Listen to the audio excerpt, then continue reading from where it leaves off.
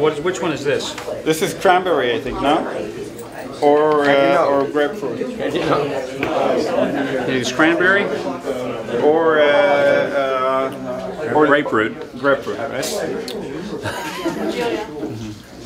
This is Baal Muhammad. Uh, he's uh, the manager of all our Palestinian and Arab uh, employees here in, uh, in this factory and in others. You know, it's an amazing experience to come to the SodaStream factory and to see Palestinians and Israelis working side by side. Uh, their common goal is simply to build a product, to bring to their families a very wonderful paycheck, and to work together in peace. They've done this. Uh, I would say that the employees of SodaStream in this factory do more in a day than all the diplomats from the United States, Israel, and the Palestinian Authority have done in the past 10 years.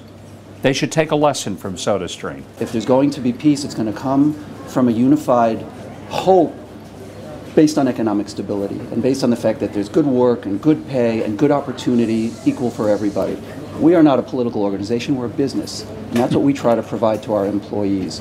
So I can only just say thank you so much for the support that you showed us and really more than just us. This is a bigger story. This is about Israel and this is about speaking the truth in the face of all the, uh, all the untruths out there. So thank you. Well, I, I wish all of the people who have been critical, uh, not just of SodaStream, but critical of Israeli businesses, I wish they would come here.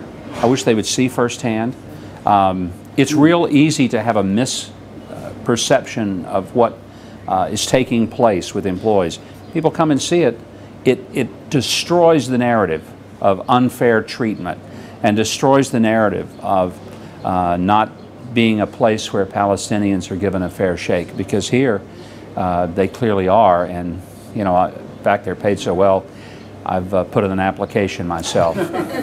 It is clear those people who want to boycott SodaStream are doing this to hurt Israel and to hurt Jews, not because they want to help Arabs, because by boycotting this place, it is hurting Arabs and even hurting the Palestinian Authority. It's now become clear to me those who are fighting such uh, companies like SodaStream are those who have an enormous enmity toward Israel and the Jewish people, not a love of the Palestinian Arabs, because what they're doing is hurting the Palestinian Arabs. Uh, uh, it, it is not really hurting Israel very much at all. A lot of topics. We're here at SodaStream right now and seeing how incredible uh, the desert of uh, Israel has bloomed into an incredible um, flowering garden. And SodaStream is one example of it, and how uh, coexistence can indeed uh, work. And uh, we're, we're really thrilled to see uh, Yonah Lloyd and the rest of the uh, management and how well they're pulling this all together.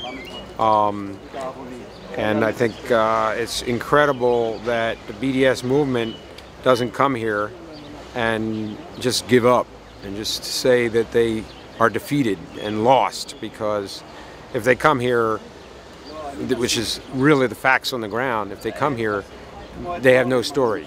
They're a big lie. And uh, if they would only face reality and come here, see for themselves what's going on, they would see that they're a big lie.